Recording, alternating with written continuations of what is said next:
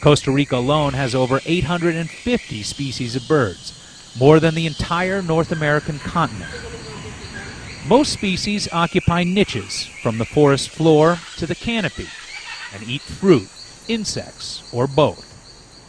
Other species of birds occupy the skies above the canopy, swamps, estuaries, and marine habitats, and have more specialized diets. 70% of Costa Rica's bird species live there year round.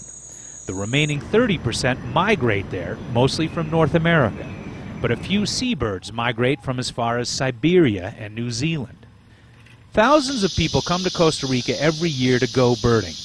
With a relatively high number of eco lodges located in or near the rainforest, seeing birds in Costa Rica's southern zone can be as easy as sitting comfortably and waiting for them to come to you.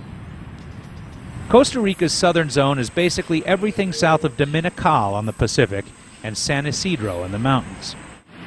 Its remoteness has sheltered the region from some of the large scale development that has gone on in the northern parts of the country.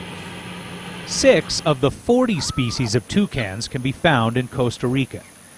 Toucans are relatives of the woodpecker, and their most obvious feature is their colorful, disproportionately large beaks. Primarily frugivores, Toucans use their long beaks to dine on a variety of fruit, although they've also been known to feed on eggs, lizards, and frogs during nesting and breeding periods. Researchers are still not totally sure why the beak is so long, but some theorize that the long beak enables them to reach far out on tree branches, snag a piece of fruit, toss it up in the air, and catch it in their mouths. Toucans benefit the forest by dispersing seeds and along with other frugivores are responsible for the placement of many of the forest fruit trees. Toucans tend to run in small packs of 3 to 12 birds. They're not the most graceful flyers, but they certainly seem to enjoy life as they make their way from tree to tree, enjoying a virtual smorgasbord of forest fruits. Toucans nest and sleep in hollow tree holes, which protects them from hunters and stalkers. At present, their numbers are fairly stable in Costa Rica, but as with everything, loss of habitat and deforestation is a constant threat. Another neotropical favorite is a member of the parrot family, the scarlet macaw. Once found on both the Caribbean and Pacific coasts, scarlet macaws are now only found on the Pacific coast, and to be more specific, on the southern Pacific coast. Scarlet macaws are beautiful to see in the wild, and their quirky personalities make them a joy to watch. Macaws often fly in pairs or in small groups and can reach speeds up to 35 miles per hour.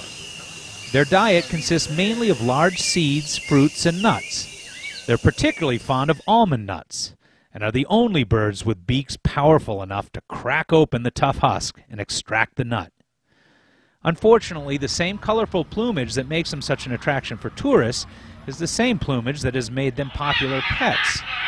Currently, all macaw species are now being threatened by poaching for the pet trade and by habitat loss.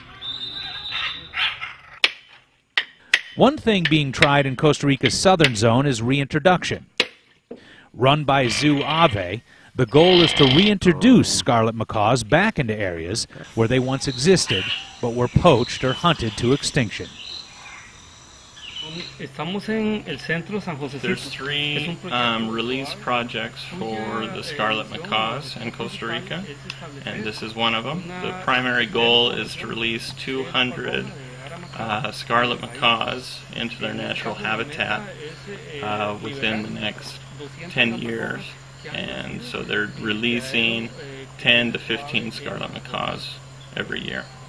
Zoo Ave's decision to begin the scarlet macaw reintroduction program is based on the endangered status of this species in Costa Rica, the continued existence of protected habitat within the native range of the scarlet macaw in an area where the species has been extirpated, an existing captive population, and an available source of new genetic material in the form of confiscated wild birds, which are entrusted to the zoo.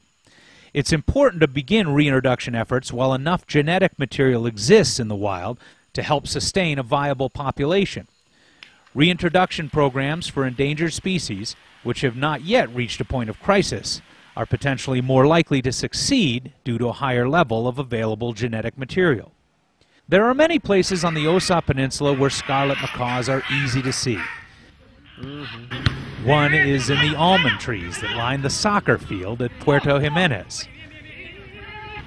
I taped these macaws cheering for Puerto Jimenez as they played arch rival La Palma. When I wasn't looking, one of the macaws decided to see if he could surprise me by dropping an almond husk on my head. The bird had great aim and left me laughing with the thought of how cool it is that places like this still exist.